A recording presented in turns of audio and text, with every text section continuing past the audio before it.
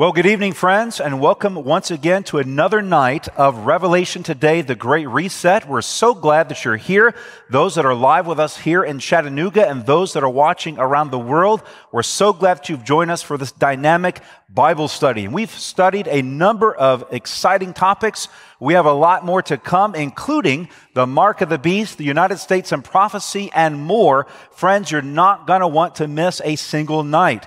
So, those of you watching, we are welcoming you here in Chattanooga. We're so glad you've joined us. And just last night, we had a number of people watching from all over the world. Here's some of the places folks were watching from Vancouver, Washington, Toronto, Canada, Nova Scotia, Canada, Trinidad and Tobago, Great Britain or the United Kingdom, Florida, Kentucky, and almost all of the 50 United States. So, those of you watching, thank you so much for joining us. Just to remind you, on the website, you'll find all kinds of resources. You'll find the study guides that you need for each night's topic, as well as the free PDFs that will take you deeper into the study for that night's topic. You're able to download those online, and we hope that you do so. Just a reminder to share the website with your friends.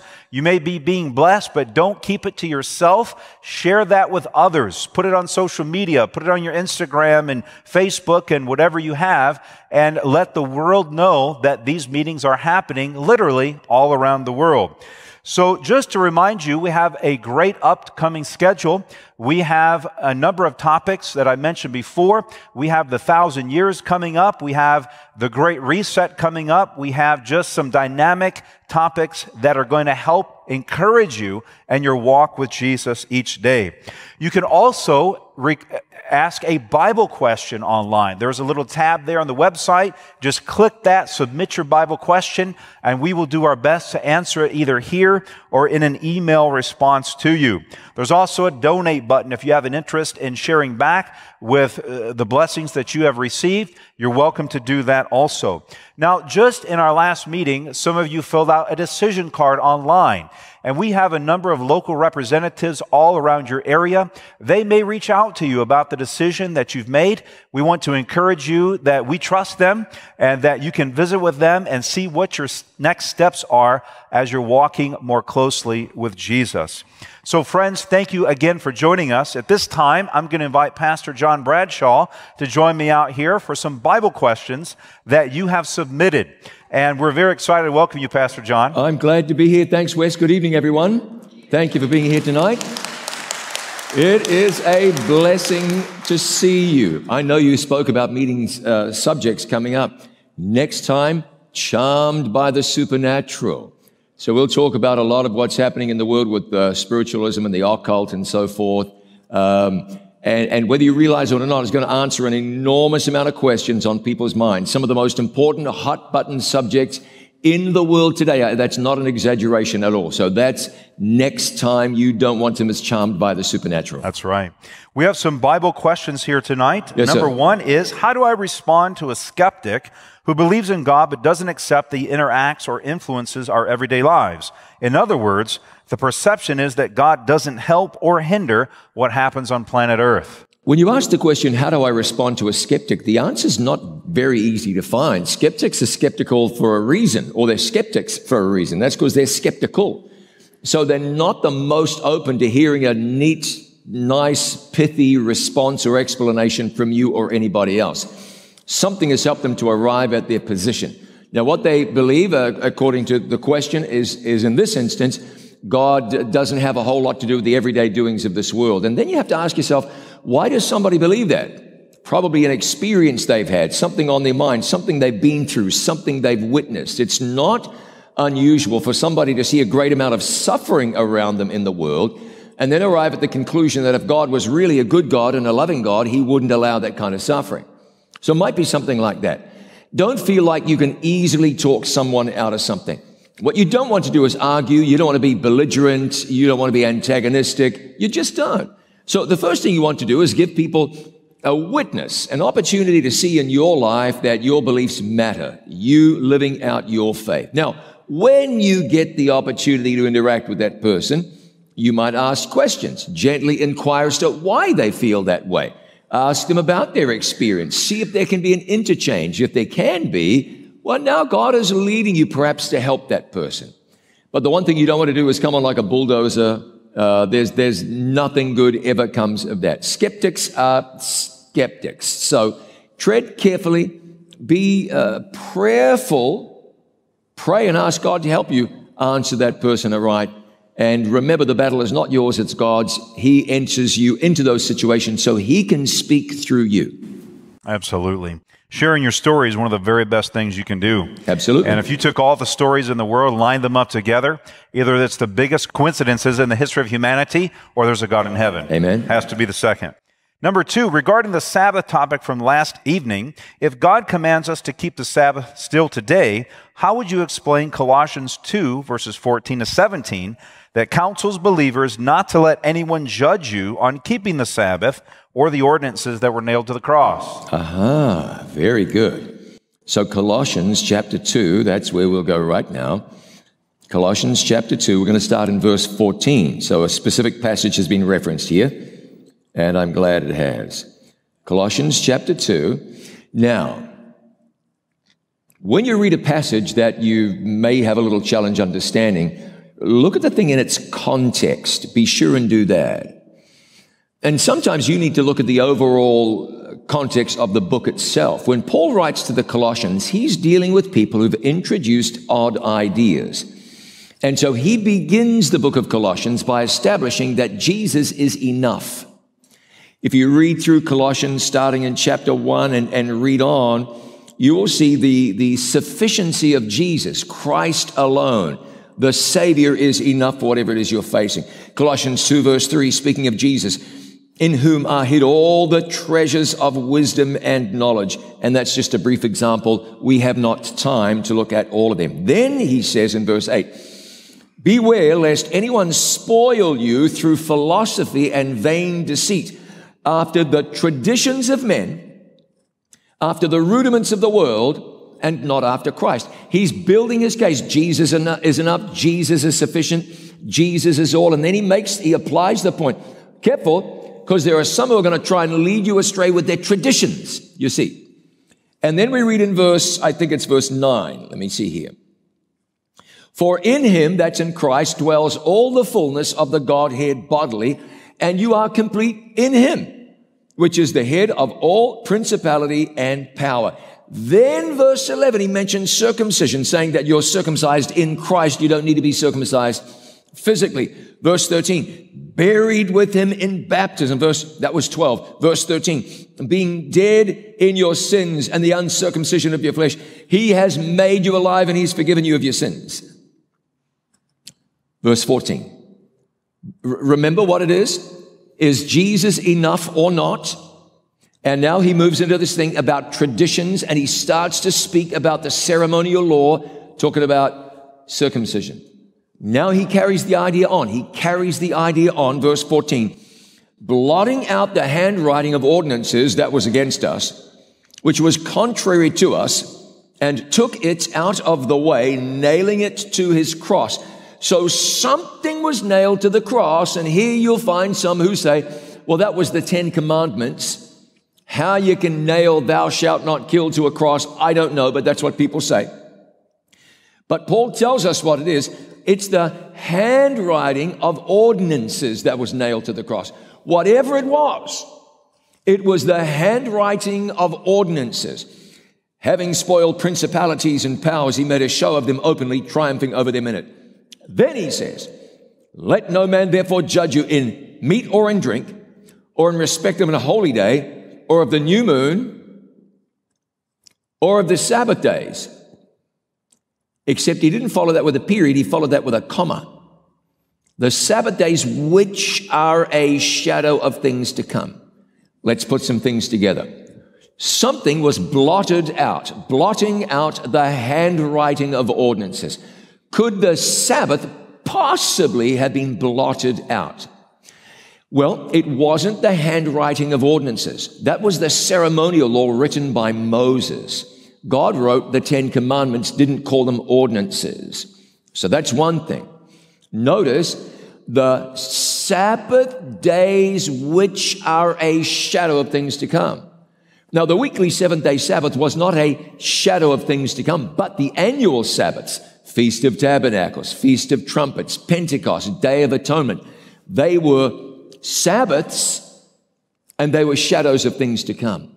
So what was blotted out was not the weekly Sabbath, but the ceremonial law, including the ceremonial annual Sabbaths, the feast days. Of course, it doesn't make any sense at all that God would blot out his Ten Commandments. We don't believe thou shalt have no other gods before me was blotted out. Let's just be consistent. The commandments are 10, 10 in one, and God didn't blot out any of the Ten Commandments. So that there refers to the Sabbath days, which were a shadow. And that very clearly, the annual Sabbaths, not the weekly Sabbath. Law of God, the law of Moses. Law of Moses fulfilled when Jesus died on the cross. Ten Commandments last forever. Number three, please reconcile what the Bible says about the day of the Lord coming as a thief and Revelation 16, 15, where Jesus says himself that he is coming as a thief. That's talking about the subject we had on the Great Reset, the second coming of Jesus. Oh, yeah. Yeah, that's a great question, too. Thanks for asking that question. Because I was pretty adamant that the day of the Lord comes as a thief in the night, and you have rightly pointed out that here in this verse, Jesus says, Behold, I come as a thief. Blessed is he who watches, keeps his garments, lest he walk naked and they see his shame. That's correct. That's exactly what it says. But this does not indicate that Jesus himself sneaks in, does his business, and sneaks out.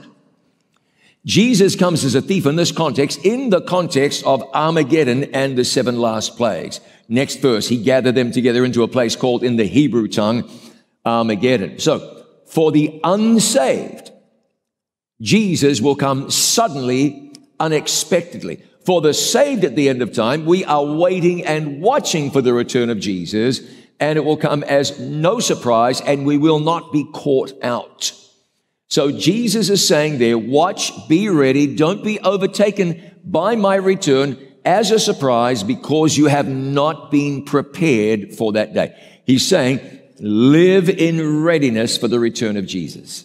That's right. Matthew chapter 24 and 25 talk about that as well, the timing of Jesus' return. Number four, how do I keep the Sabbath holy as the Bible says? What activities are acceptable since I'm not working on that day? That's a really good question. It might take me a while to answer that, so I'll just take a, a little look at it now. The Bible says in Exodus chapter 20, well, wait, wait, wait, before that, before we talk about what we cannot do, we're not even going to talk about what we cannot to do what you want. The question is, what pleases God? And God said, In it, thou shalt not do any work. So, so there's that. It's not a work day. But, but I, you know, I said we, would talk about the possibilities, and then I talked about that. When Jesus was on the earth, the Sabbath was a day for fellowship and worship. It was a God day. You simply left out all the secular stuff and focused on God instead. It doesn't mean you have to sit in your bedroom and read the Bible from sundown Friday to sundown Saturday. Of course, it doesn't mean that. And if you were a Sabbath observer, then your understanding of it will grow in time. So you don't need to feel like you've got every last, you've studied every, you've asked every question. I mean, okay to study and learn, but you don't need to sweat this. I can't do this until I have every last little skerrick of information. That would not be appropriate. So you can imagine you want to spend time with God. Where do you do that? Well, at home, in church, in nature, with others. So it's not necessarily a day of solitude. I've been asked, do you have to fast on that day? Oh, no. Oh, no. Why would you, why would you do that? You don't need to do that. Now, if you really want to know what the Bible says clearly about what not to do, you don't want to work. You don't want to engage in this secular sort of thing. Um, another thing in the book of Nehemiah makes it clear that it's not a day for buying and selling. So let's start there. We leave off work, we leave off commerce, we leave off trading, we leave off buying, and we focus on God's presence and doing those things that bind our hearts with the heart of God. Amen. Sounds like a great idea to me. Amen. We'll save our last question for next meeting. We're out of time for this segment, okay. but uh, we'll jump into that on our next time for Bible Q&A. Thank you so much, Pastor John. At this time, friends, we just want to follow the Bible. Amen. Isn't that, isn't that simple thing to do? What does the Bible say? Let's obey it. Let's seek to please God. He gave his life for us. What greater thing can we do than to give our hearts and lives back to him? Amen. At this time, we'll enjoy another special number by Claudia Treyer and Scott Michael Bennett entitled Remember Me.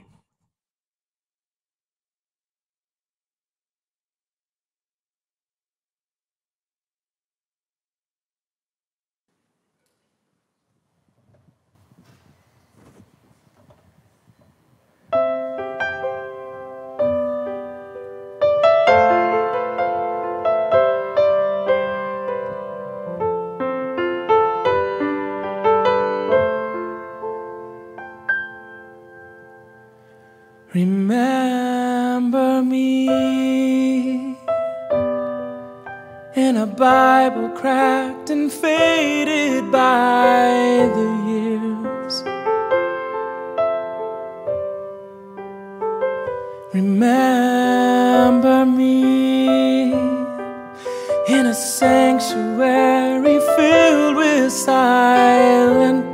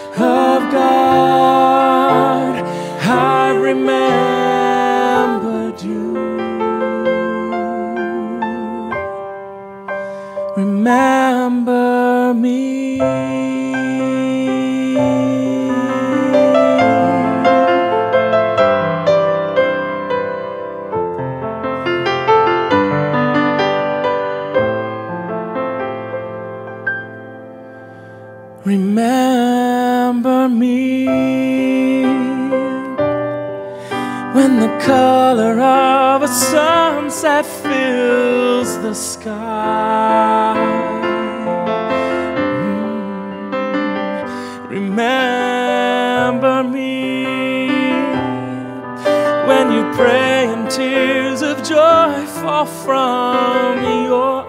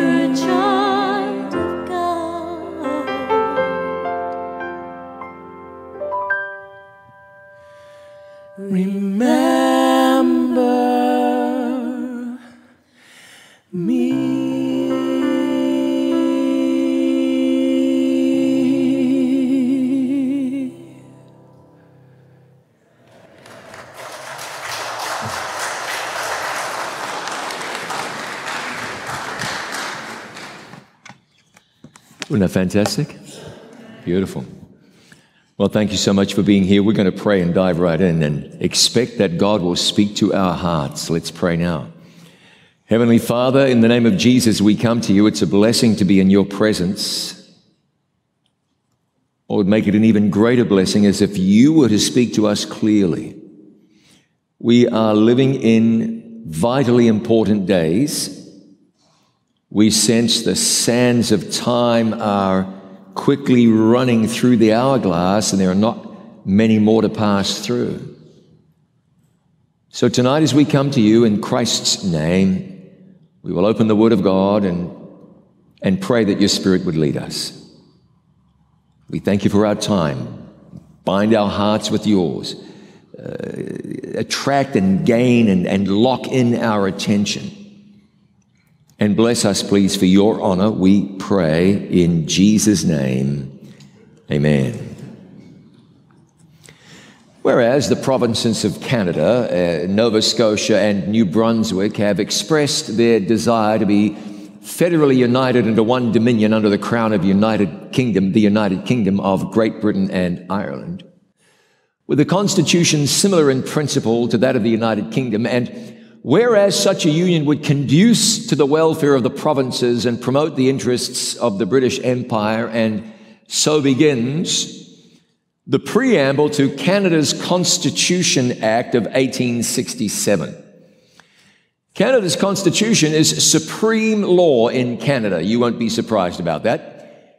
It outlines not only Canada's system of government, but also civil and human rights. Interestingly enough, the British do not have a written constitution. Instead, the United Kingdom has what is called or referred to as an uncodified constitution. But here in the United States, different. We're a little more like our neighbors to the north.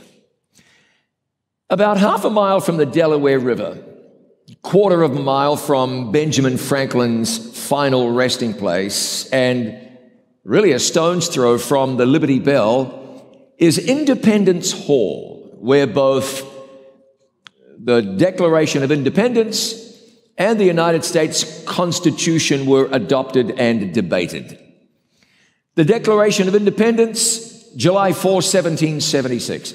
Constitution was ratified in 1788 before becoming effective in 1789. And it begins like this. We, the people of the United States, in order to form a more perfect union, establish justice, ensure domestic tranquility, provide for the common defense, promote the general welfare, and secure the blessings of liberty to ourselves and our posterity, do ordain and establish this Constitution for the United States of America. It is regarded as the oldest written and codified national constitution in existence in all the world. It has been described as a bold experiment in democracy. It has three main functions, the Constitution. Creates a national government considering, or rather consisting of a legislative and executive and a judicial branch with a system of checks and balances among the three branches. Second, it divides power between the federal government and the states. And thirdly, it protects various individual liberties for American citizens. Now, the Constitution of the United States has been amended how many times? 27 times. First time was in 1791 when this provision was added. You may be familiar with this. Congress shall make no law respecting an establishment of religion or prohibiting the free exercise thereof or abridging the freedom of speech or of the press or of the right of the people peaceably to assemble and to petition the government for a redress of grievances. Same year, Second Amendment. Keep in mind, these two amendments and maybe others were written only two years after the Declaration of Independence was adopted and came into effect. A well regulated militia being necessary to the security of a free state, the right of the people to keep and bear arms shall not be infringed. That's one that gets talked about a lot today. What about the 16th Amendment? If we would have a quiz about amendments, how well would you do? 16th Amendment. Now, you are very familiar with it. It was adopted in the year 1913. And it says, the Congress shall have power to lay and collect taxes on incomes from whatever source derived, without apportionment among the several states and without regard to any census or enumeration. Uh, probably not everybody's thrilled by that one. 1920, the 19th Amendment gave what? The right to which? Women the right to vote. That's right. The most recent amendment was adopted in 1991. It prevents members of Congress from granting themselves pay raises during whatever the, the current session of Congress is. The idea was to prevent uh, Congress people from voting an increase to themselves and getting it. If you push it out until the next time around, then uh, it might make things a little bit safer. You won't have Congress men and women voting themselves gigantic increases willy nilly. At least that is the idea.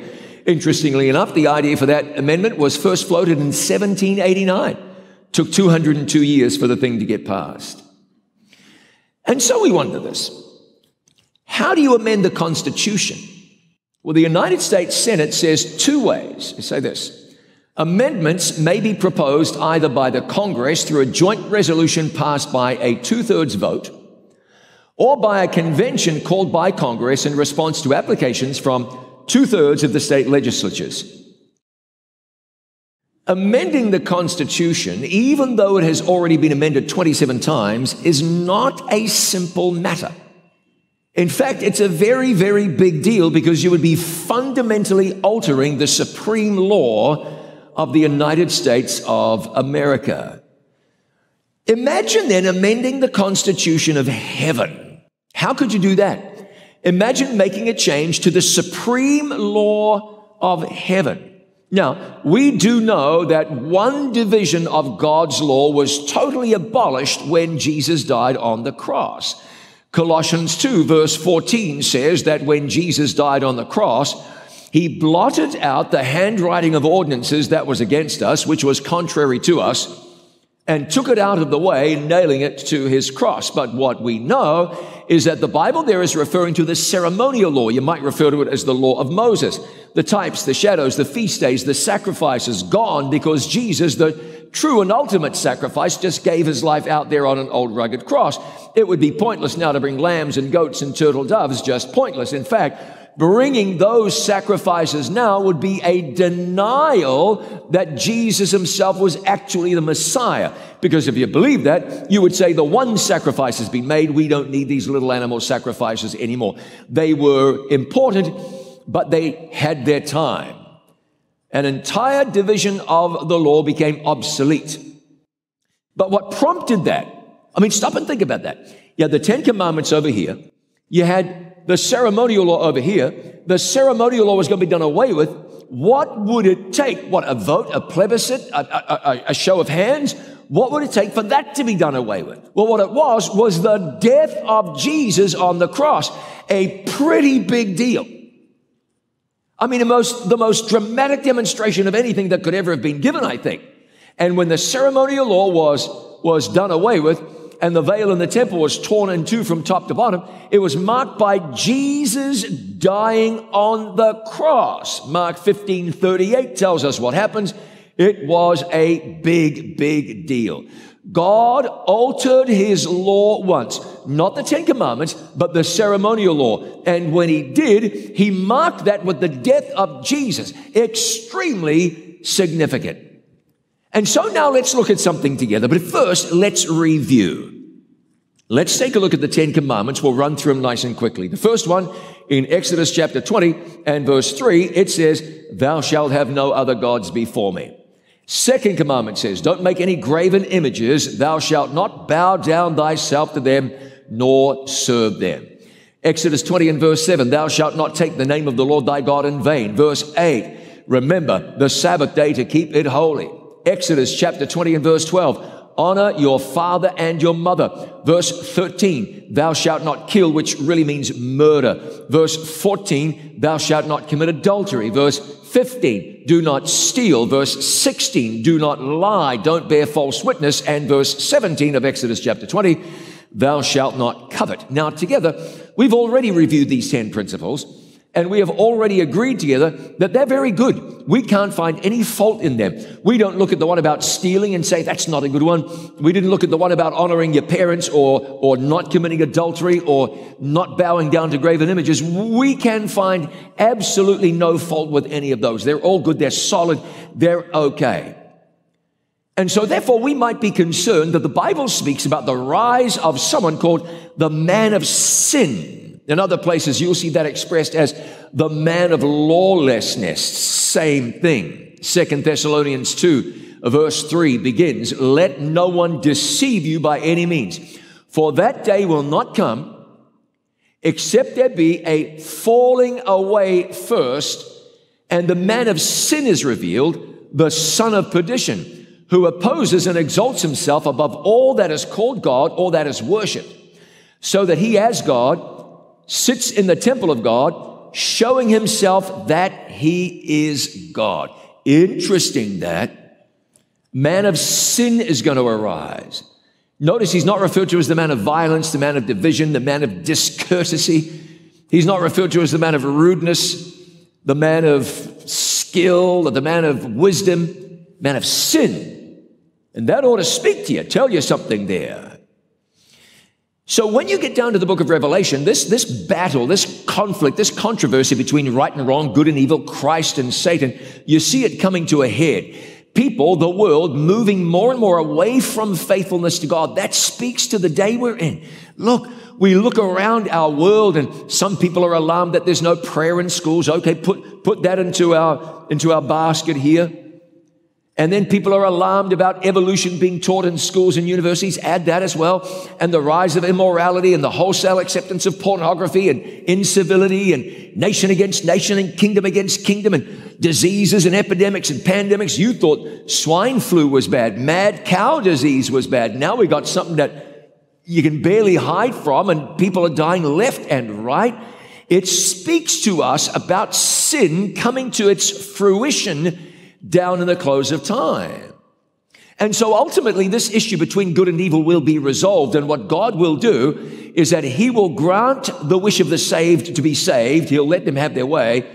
And God will honor the wishes of the unsaved to be left alone to do their own thing. He will grant their desires. So let's go back over some of this ground. Exodus chapter 20, starting in verse 8, it says, Remember the Sabbath day to keep it holy. Six days you shall labor and do all of your work, but the seventh day is the Sabbath of the Lord your God. In it you shall do no work. That's you, your son, your daughter, your manservant, your female servant, or your cattle, or your stranger who is within your gates. For in six days the Lord made heaven and earth, the sea and all that in them is, and rested the seventh day. Therefore the Lord blessed the Sabbath day and hallowed it. And you wonder why he did. First day, second day, third day, fourth day, fifth day, sixth day of creation, everything was pretty good. God said very good after he made Adam, well, actually after he made Eve. And then, and he wasn't done. He said, I'm giving you the Sabbath. I'm carving it out of the rock of time. You need this. Why, God? Why? Because he knew that we needed time out from the busyness of life. He knew that. He knew that people would need time to connect with each other. He knew that people needed time to connect with God. God gave the Sabbath as a memorial, a memorial of creation and of recreation. This is why he gave it. And what a great idea. God gave the human family the seventh day Sabbath to keep forever in mind that he is creator and recreator. And so we shouldn't at all be surprised that the one sign of God's great creative power of ownership of the world should be attacked, that it should be minimized, even tr- trampled on. And what a blessing that God gave this day. What a blessing. Now, keep something in mind. It was never intended to be solely for the Jews. The Jews were late to the party. The Sabbath was given at creation. Jews didn't come along for another 2,300 years, so they got to the Sabbath late. It's not for Jews, it's for everyone. Uh, Jesus said the Sabbath was made for man, meaning humanity. Imagine God's people wandering in the wilderness, settled in the promised land. They kept, they, they looked forward to the Sabbath. They did. It was a day out. It was a day of oneness with God. It was a day of worship. It was a day to remember that there was a God on the throne in heaven and that he was great and mighty. When Jesus was on the earth, he and his disciples looked forward to the Sabbath. It was a day of rest. Imagine that society, an agrarian society. They grew their food and they farmed their animals and they worked with their hands. Life was busy, you know. They didn't turn the tap on with water coming out. They didn't go to the store just up the street and buy loaves of bread. As a rule, this was the sort of thing they did in their home from scratch. There were no microwave meals. And so the Sabbath was, oh, what a day. And not just because it was a day away from regular labor and work, but it was all about their faith in God and a celebration that they were God's children. Today, more than ever, we see the importance of rest, of coming aside, of stepping back, the importance of making in your life room for what really matters. God knew what he was doing when he was, when he gave the human family this important gift. This is a God who loves communion with his children. He loves fellowship. I mean, it's clear God craves, and I use that word deliberately, he craves spending time with us. Think about that. What does that tell you about God's character and about his love for the human family?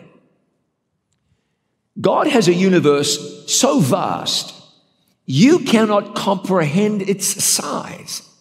There are billions and billions of galaxies in the universe. Our galaxy, the Milky Way, it would take you 100,000 years to get across it if you traveled at the speed of light. 186,000 miles a second. Imagine how vast this universe is, and yet God delights to spend time with you. Are you that special? Oh, yes, you are. You've heard somebody say to you once, Oh, don't think you're so special. Uh, okay, but no, you are that special and more. God looks forward to that day with you. So if Jesus or the disciples or the early Christian church were to change the Sabbath, that would be monumental, colossal. 2,000 years after Jesus' death, that's where we are today, you and I both know that the Sabbath of the fourth commandment has largely been changed by Christians who've adopted Sunday and by secular people who regard Sunday as not different, not special, not holy, not due any sort of reverence. This has become a secular day, uh, a work day, maybe a family day. Many people are looking at this as a family day. I want you to think about something. In Bible times, Jesus' disciples were walking through the fields. They were hungry. They, they plucked some ears of grain from the corner of the field where they were allowed to do that. In order to get to the grain, they rubbed the grain in their hand to, to thresh it, as it were. And they were accused of working on the Sabbath. Now, of course, that wasn't work. But that accusation goes to show how zealously the hyper religious but not hyper converted Jews uh, re- related to the Sabbath. Jesus healed a man on the Sabbath. Take up your bed and walk. He picked up whatever it was he had, maybe a roll of some kind or a blanket. They said, You can't do that. That's work. Of course, it wasn't work. The point that I'm making, however, is they were really careful about the Sabbath. So careful about it I mean, inappropriately, inaccurately careful in those instances. That when Jesus and his disciples did something they didn't like the smell of, they wanted to kill them. Kill them, can you imagine? So imagine all of a sudden a sect rising up right after the death of Jesus, and they're in the heart of Jerusalem. Instead of remembering the Sabbath day and keeping it holy, they were busy ignoring that and going to church on another day. Can you imagine that that would have gone sliding by with ease in Jerusalem? You think Israel would have been sure, you go ahead, you do that. Come on. In that environment, there would have been a civil war. There would have been widespread persecution.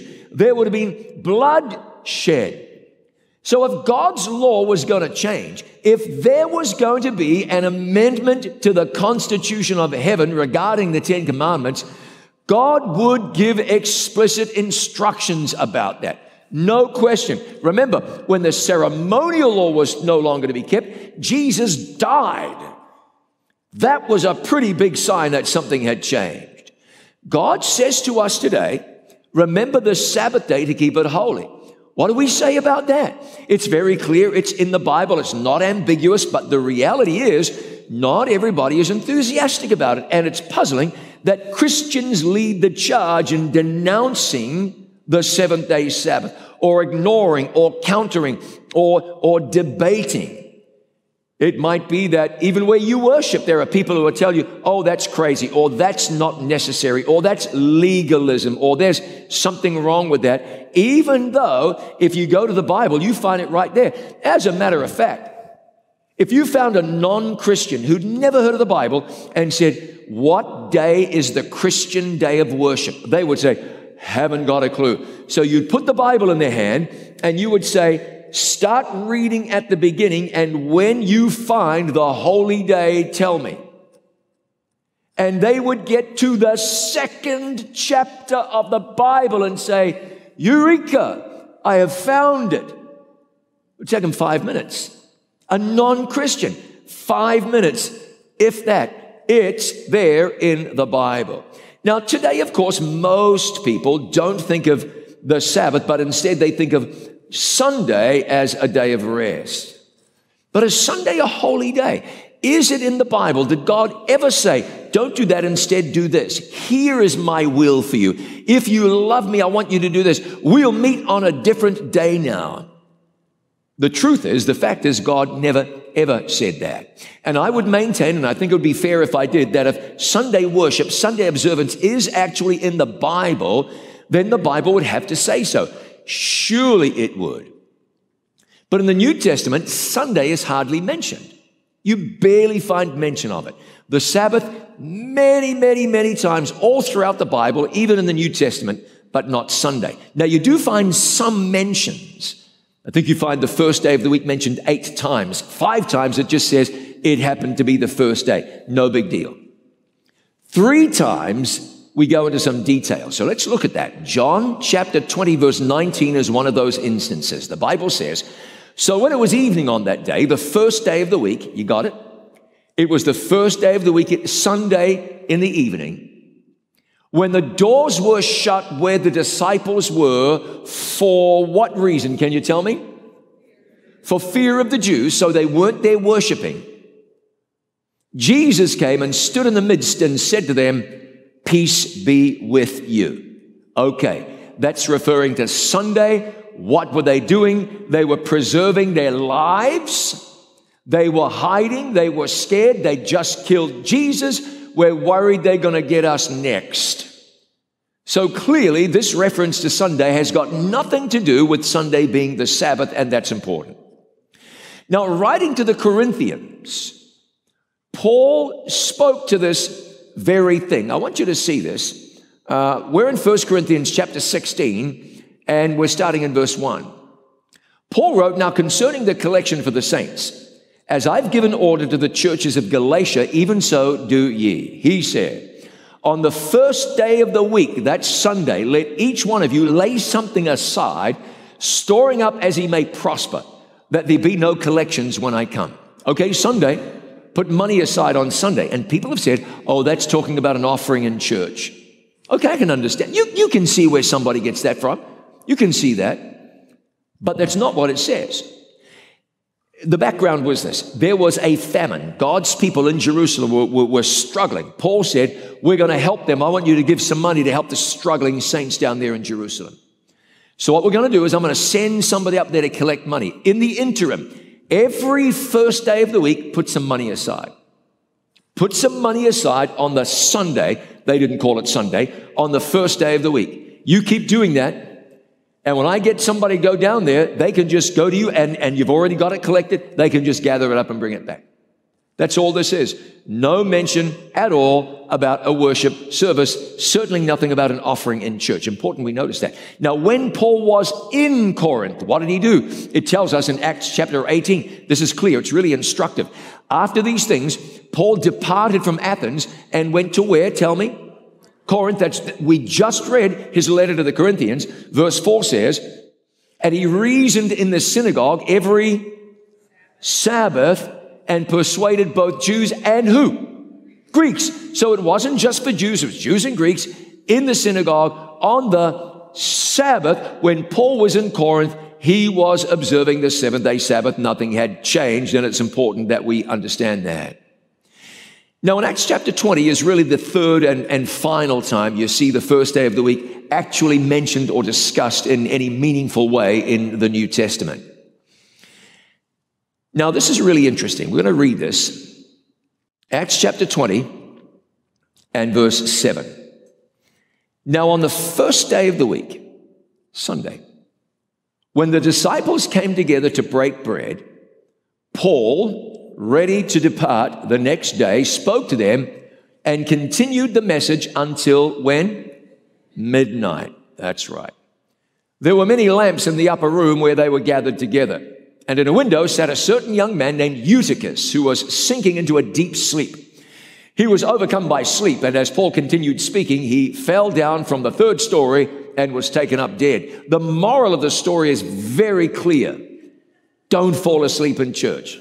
That's what that is. Now, you might say the moral is clear. Don't preach till midnight. So, okay, we'll, we'll, we'll, press on. So, what happened here? Paul preached, Eutychus fell out of church. He healed the brother. And then, if you continue reading in this, the Bible will tell you that on the very next day, Paul walked 14 miles or so to a town named Assos. Now, here's the background, or, or, or let, let's interpret this a little bit. A day is represented in the Bible from sunset to sunset. This was the first day of the week, that would be Sunday, but it was dark. So this had to have been Saturday night. You understand what I'm saying? Seventh day begins Friday at sunset and ends Saturday at sunset. The first day begins Saturday at sunset, ends Sunday at sunset. So if it was dark on the first day of the week, that had to be Saturday night. So Saturday night they were together. Paul preached. Eutychus had his issues. Paul raised him back from the dead he got some sleep, and the next day walked miles and miles on Sunday to meet up with the ship in another place so they could travel together.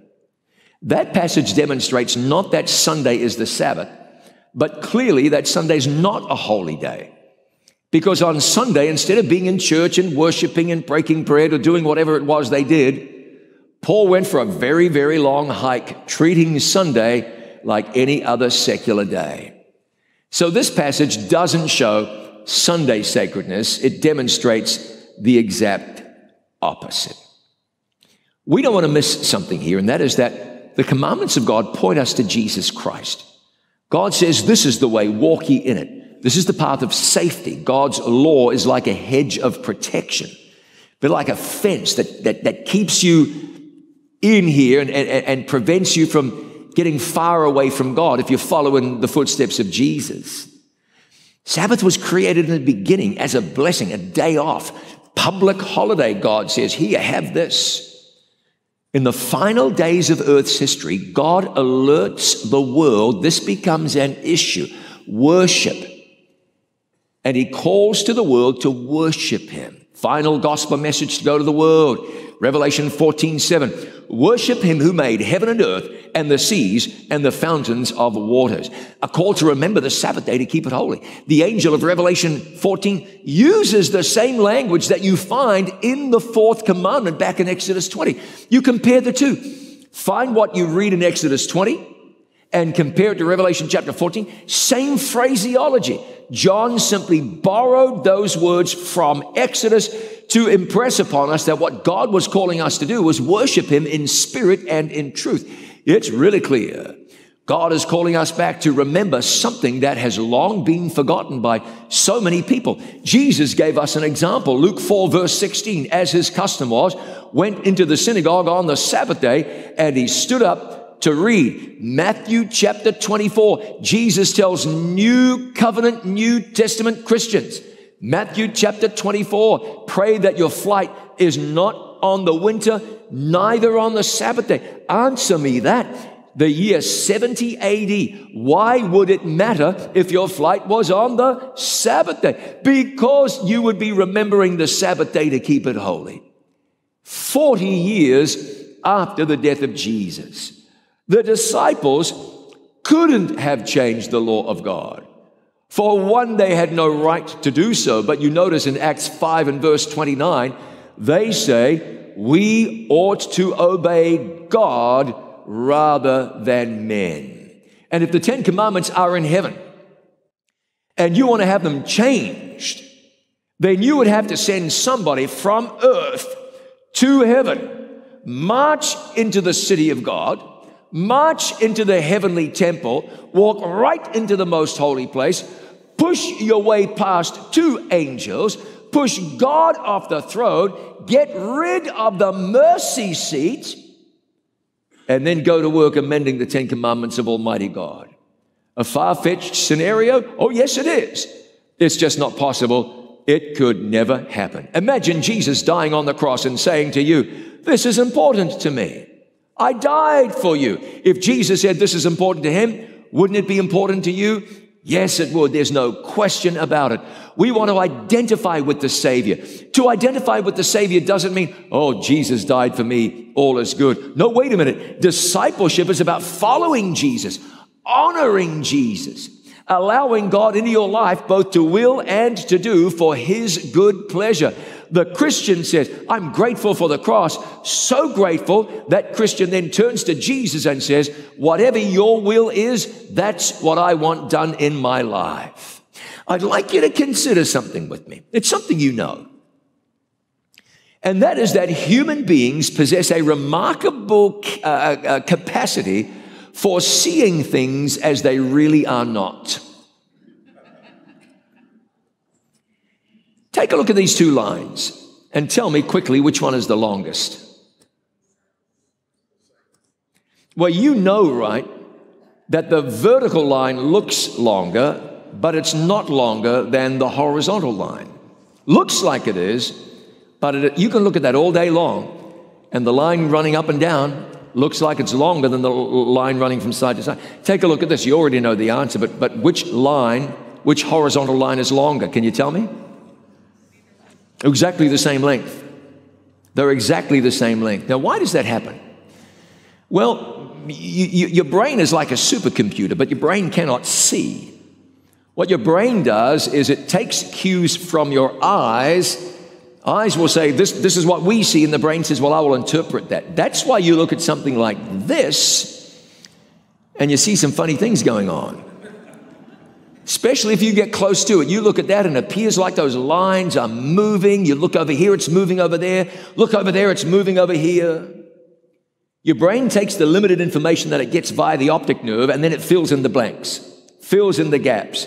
It makes guesses, your brain does, based on the limited information that it has. Ordinarily, those guesses are really pretty good, but sometimes not so good. Sometimes some strange things happen as a result. You see things that aren't moving, see things that are moving.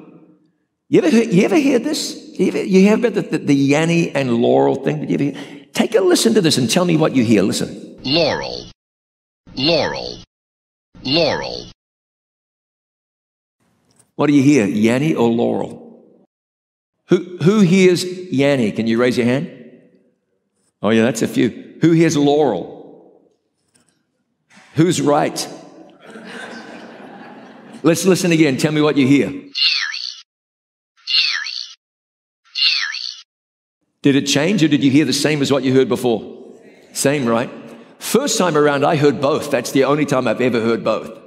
Second time around, I heard the right one Laurel. Yeah. You people are hearing Yanny. I got, I got no idea. Listen again. Let's listen again.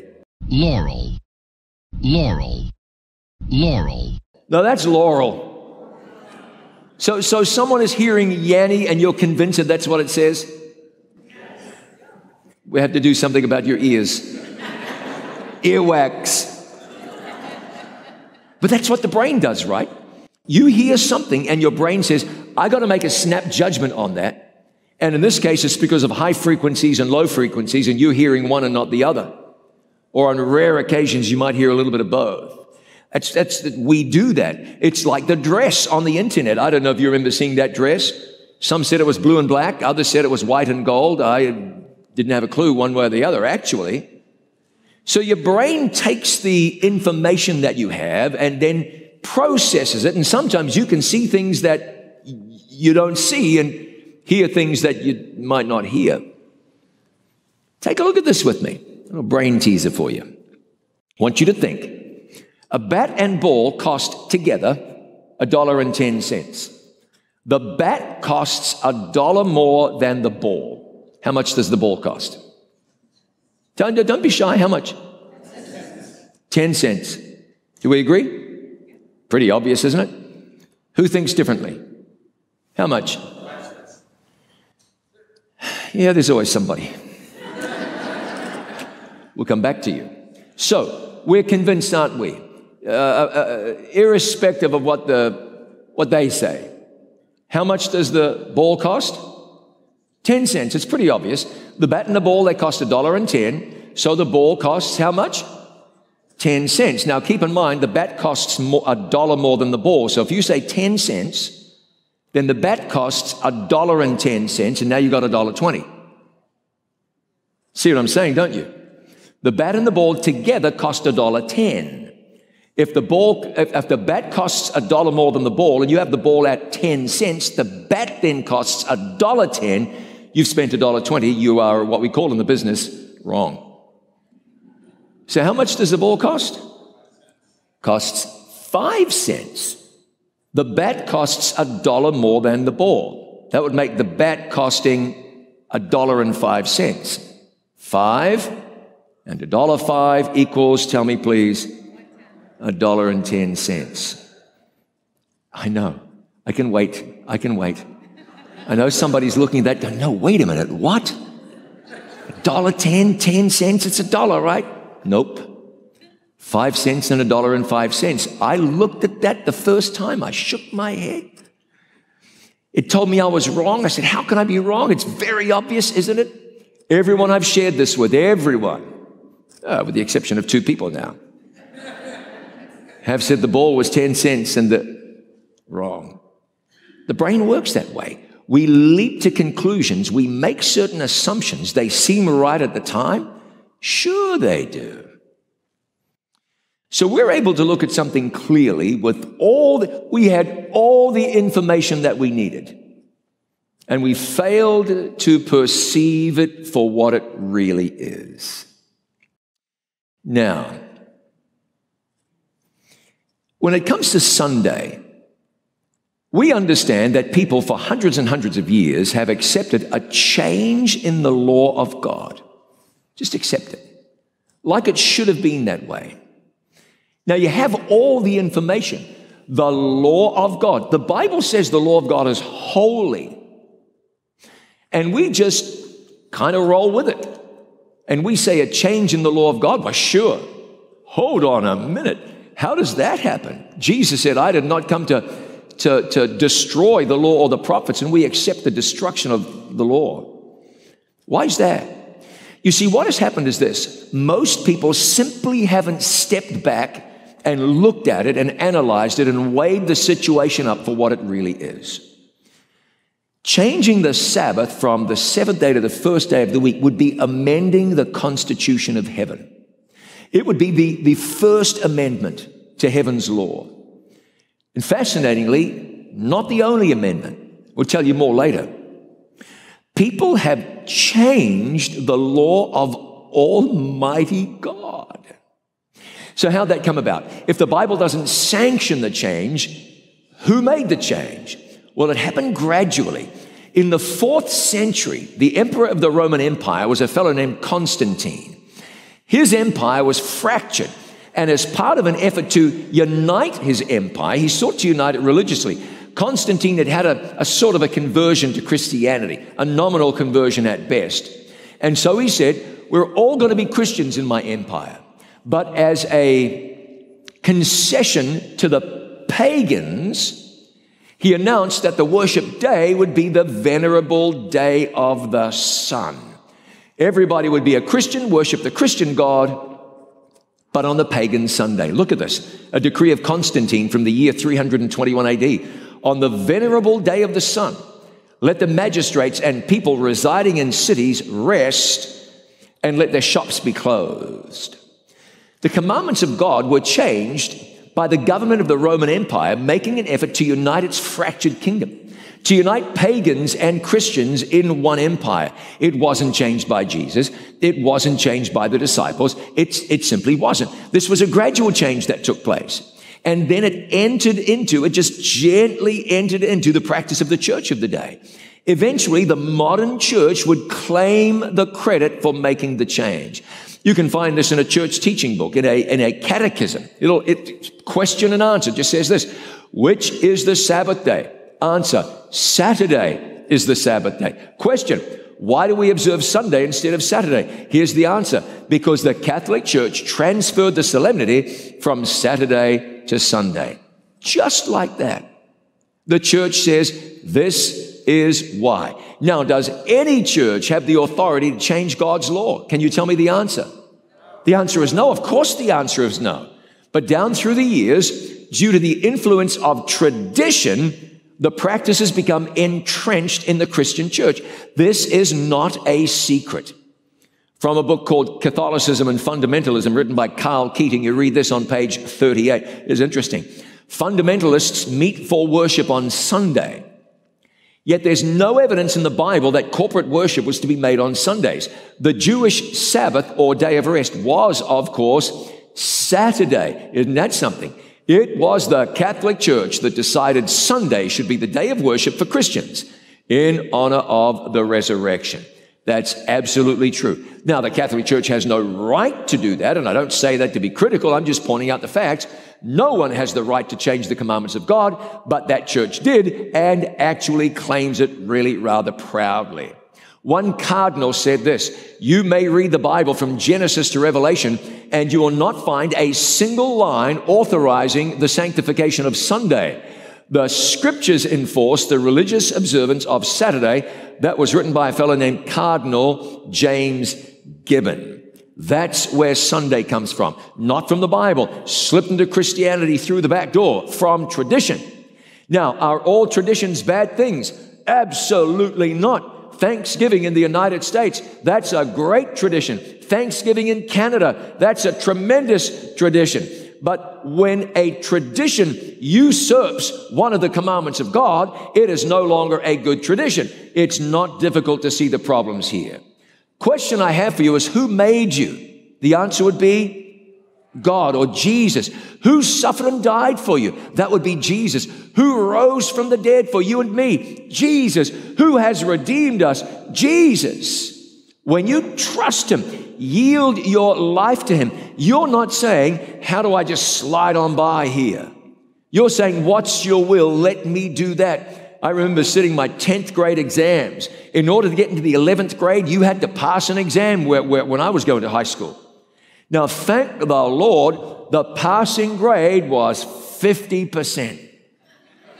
And some of us were celebrating. It wasn't a matter of getting 80s and 90s, high 90s, or even 100. It was a matter of just sliding by. And by some miracle of grace, I managed to squeak by out of the 10th grade and into the 11th. That worked in school. I mean, to some degree, children don't try this at home. But in faith, you don't do that. You don't try to slide by. You don't attach yourself to some religious faith community, church, tradition, idea and say, good enough for me. Following the God who made you, redeemed you, the Jesus who's coming back for you. That's when you say, what's truly your will? I want to do your will. I want to honor you with my life. That's what we pray to God. There should be nothing we would not surrender to the God of heaven. Ask yourself about the foundation of your faith. Is your faith resting on what God says or on what human beings say? Sometimes it isn't easy to see the clarity of a certain subject. Maybe because of history. Well, we've been doing this for hundreds of years. Maybe because of what others are doing. Well, my parents did it this way, or my family, my neighbors, all the people that I hang with, that's how they operate their lives. But, ladies and gentlemen, the Bible says that we are saved by grace through what? Through faith. What's faith? Faith is relying on the Word of God to do what it says it will do, simply because it, was, it says it will do so. Faith relying on the Word of God to do what it says it will do for the simple fact that it says so. God's Word. That's faith. Remember what Jesus said. If you love me, do what? Keep my commandments. That's really clear. The person who is moved by love for God is going to want to live for the one who died for that person. We see the importance of, of faith you know, I, I, know she's no biblical authority, but I like the quote from Dr. Joyce Brothers, the, the, the once noted psychologist or pop psychologist, perhaps. She said, The best proof of trust is what she say? Love. I know she's not a biblical authority, but I think it's a very good quote. The best proof of love is trust. Abraham loved God. How do you know? How do you know he did? Because when God said, Take now your son, your only son, whom thou lovest, and offer him for a sacrifice, Abraham said, Okay, I'll do it. It was pretty clear Isaac loved God because when he understood what his father Abraham was doing, Isaac said, All right, Dad, go ahead. If it had been me, I'd have pushed the old man aside and run for my life. But faith brings trust, and trust enables you to follow in the footsteps of Jesus. How about Noah? Noah, it's going to rain. What's that? There's going to be a flood. Huh? build a boat. Okay. I don't know how many years people ridiculed Noah, probably all 120 years he built the ark. Why did he do it? Because he trusted God. And his trust was demonstrated in following the word of God. Gideon, get up an army. I'm good to go. Midianites are going to get us, it looks like, because they've got many more than we have, but we do have 32,000. And God said, Too many. And when he whittled the army down to 300, God said, Go. And Gideon said, Okay. Why did he do that? Because he trusted God. He had faith in God. That trust was demonstrated in the way he lived his life. You'd have thought that was a suicide mission, except he was following God in faith and God brought him out victorious. So let's see if we can follow God's leading.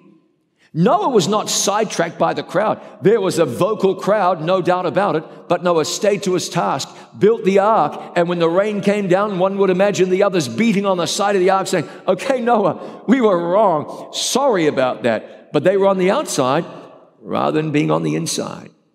We don't even want to look at what our family members are doing. Looking back and saying, oh, how about mom and dad and my brother and my sister? What are the kids doing? What are, what, what are the, the in laws or the outlaws doing? You don't want to do that. You want to say, what does the Bible say? What is the will of God for my life? What does love for God look like in this situation? The Bible says in Revelation 14 and verse 12, here is the patience of the saved, the saints. Here are they that, you tell me, keep the commandments of God and the what? You see, you can't separate the two. Faith in Jesus leads you to obeying Him, keeping the commandments of God. Not because you're trying to work your way to heaven, not because you're not saved by grace through faith. Faith and keeping the commandments of God go hand in glove. Someone's going to tell you, oh, you can, you can just choose whatever day you want. Just like when it comes to the seventh commandment about adultery, you can choose whatever partner you want. When it comes to the commandment about idolatry, you could choose whatever idol you want. When it comes to the one about murder, you could choose whoever you want to murder. Absolutely not. When it comes to the fourth commandment, you say, All right, Lord, let's do your will. Is it's a lot that attitude is a lot like what happened in the Garden of Eden. God said, Don't eat that. Eat all of that, just not that. And Eve said, You know what I do? I'll eat that. And today, when we say, I see what the Bible says about the seventh commandment, but I think I'll go do my own thing. We are simply reenacting the example given us by Eve in the Garden of Eden.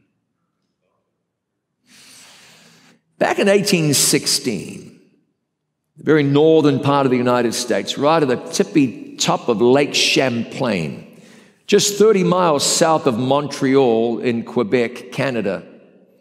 The United States did a very sensible thing and constructed a very large, strong stone fortification to defend this nation from Canada.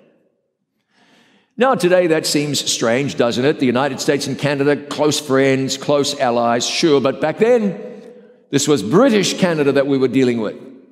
And it was only, what, 40 years after the Declaration of Independence had been signed. It was just 30 years and some change after the Revolutionary War had ended. You couldn't trust those Brits, you know.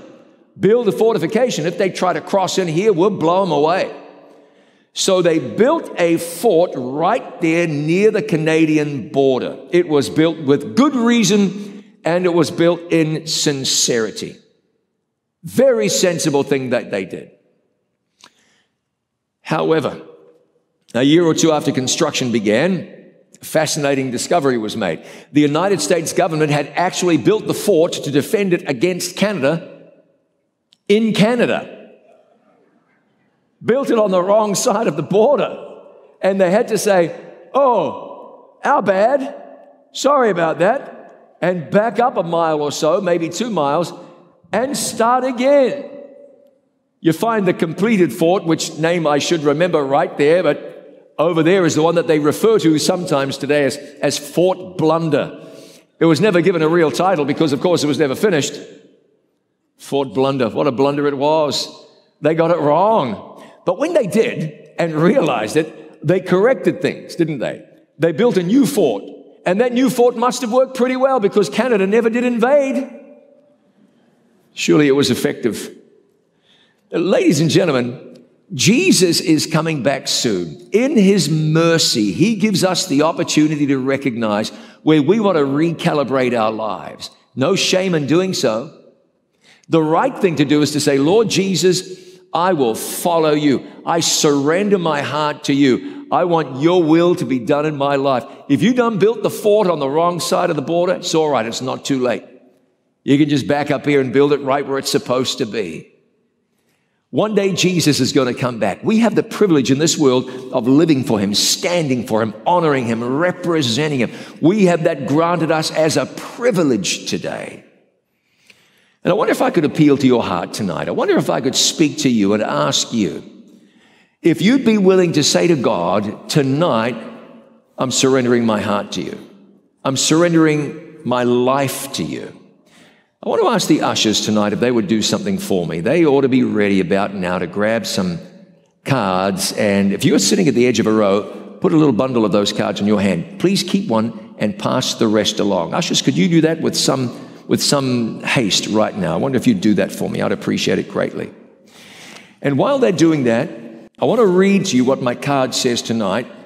You'll notice it says Revelation today, the great reset, and then, if you love me, keep my commandments. That's John 14 and verse 15. And as you're learning about this, there's a recognition dawning upon you there's a realization coming to you. There's an awakening in your mind, and something back there is saying, Lord, I want to follow Jesus. That, that's my desire. You might be a lifelong believer in Jesus. This might be all new for you. But you know, He died for you. Then He says, just as He said to the fisherman, follow me. Tonight He says, follow me. Let me read this with you. Number one of the f- five points says, I choose Jesus to be my Lord and personal Savior. Something wonderful happened out on an old rugged cross one day. Imagine the Son of God giving his life for you. Imagine that. Somebody investing in you to that extent. When human beings went off the rails, Jesus said, I'll go. He saw the depths of our wickedness. He said, I will go. I will take their sins upon me so they can go free. If you've never gone free, if you've never said in your heart, that's an especially good offer. If you've never come to the place where you've said, God, just take my heart, make it yours, please check number one right there. I choose Jesus to be my Lord and personal Savior. Number two, I want to live my life according to God's will. Whatever that means to you where you are right now, or better said, whatever that means to God. Are you willing to say, I want to live my life God's way? God's will be done. Number three, I choose to worship Him that made heaven and earth by keeping the seventh day Sabbath. Now, you may have all of your questions answered, you may not. You may simply have met with the reality that this is the will of God for you. And therefore, it's your will to say, God, lead me that way. Check number three if that's your desire. Number four, I'd like more information on this subject. If you'd like that, let us know. We'll make sure you get that. Number five, I have some questions I'd like to discuss, and you'll fill that out with your details so we can pray for you by name and answer questions if you have them. If you don't have a card in your hand, I would like you to send me a text message. Send it to me right now. My phone here, I'm going to text you right back. The number to reach me on is 71392. 71392. Send me the word truth, T R U T H. Text that word to 71392, and right away we'll send you a link right back, and you'll have what's written on this card right before you, and you can fill out that card on your device, on your computer, wherever you are right now. Hope you'll do that. Text truth to 71392. There are five points as Scott sings. The God of heaven will speak to your heart, and I'm praying tonight that you would make a very real, prayerful, personal decision for Jesus. Nearer, still nearer,